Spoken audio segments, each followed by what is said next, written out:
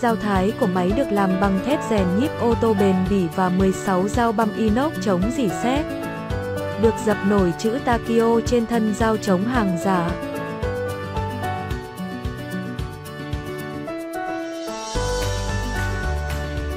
Thùng máy có 4 khóa cài vào nắp giúp chống văng nguyên liệu băm và an toàn sử dụng. Cửa xả nguyên liệu có nắp chặt, có thể tùy chỉnh thành phẩm văng xa hay gần.